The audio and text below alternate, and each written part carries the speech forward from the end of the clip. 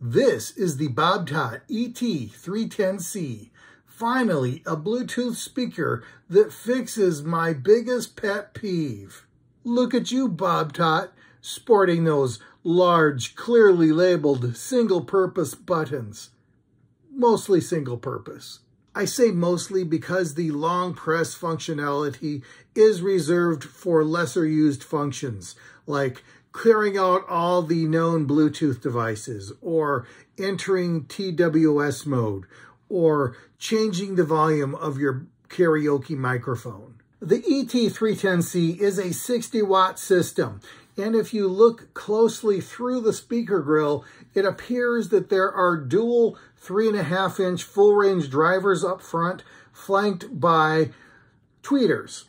Although these tweeters aren't really there. There's, there, I don't know if they're decoration or vents or what, but there are no, there are no speakers up here. But they do have two passive radiators in the side to help with the bass. I don't see this very often, but the equalizer button allows you to choose between two modes, indoor or outdoor. What might that be? Well, that's a good question. Indoor mode is for more bass and outdoor mode is for more treble. Why do they call it that? I don't know. Is there a way to turn it off? No. You must choose between one or the other.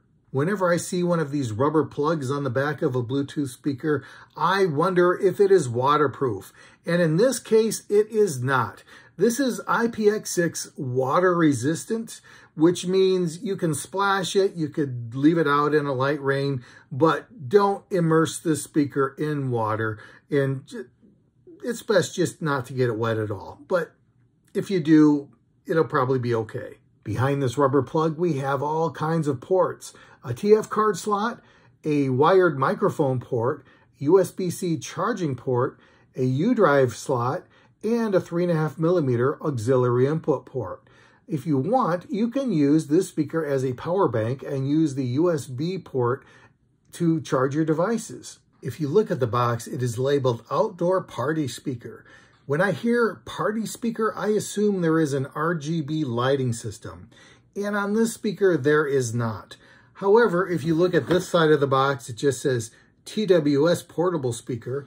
And if you look at this side of the box, it says portable wireless speaker, so maybe they just weren't all that serious about the party mode. The Bobtot ET310C is priced above entry level, but still very reasonable, and I think it performs well at that level. You can listen to any kind of music, but if you are listening to something with very, very deep bass, it'll probably top out at about 60% volume before you start getting distortion. And if you are listening to regular music, I would say you can bring it up to about 75% volume and enjoy the experience. So yes, it's 60 watts, but they're not 60 usable watts. I would put it more like 40 usable watts. I did run into an issue when I was attempting to test the karaoke features of this speaker. I use wireless microphones and the receivers are just too large to make a solid connection to this port. So plan on using wired microphones and if possible, find some that have volume adjustments on the microphone itself because I just think messing around with the long press is just, it would be irritating. It takes about three hours to fully charge the Bobtot ET310C and they say you can get up to 25 hours of playback on this device depending upon volume level. If you avoid speaker distortion, you will be keeping the speaker at 60%, 70% volume, and then you can probably expect some very decent battery life. I should probably mention the solid construction of this speaker. It's all just hard plastic. I don't see anything that could really break on it. You might be able to get a dent in the metal speaker grill, and you want to be careful around these passive radiators. I, if you just don't want to push them in or anything. Also, these rings up here are for the included uh, strap. You just kind of snap it in place. There's one on both sides. And then you got a shoulder strap. So that's nice. I also like this really grippy handle. Uh, there's plenty of space no matter how big your hand is. It's going to fit well in here. So all in all, very well constructed. How do I rate the Bobtot ET310C?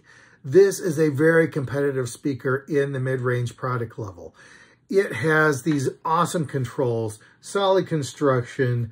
The sound is good. I love the connectivity options with the TF card slot, the three and a half millimeter auxiliary input, microphone for karaoke, U-drive port, and it's a power bank too. It's a, in this price category, it's an easy decision. Five out of five stars. Thanks for stopping by.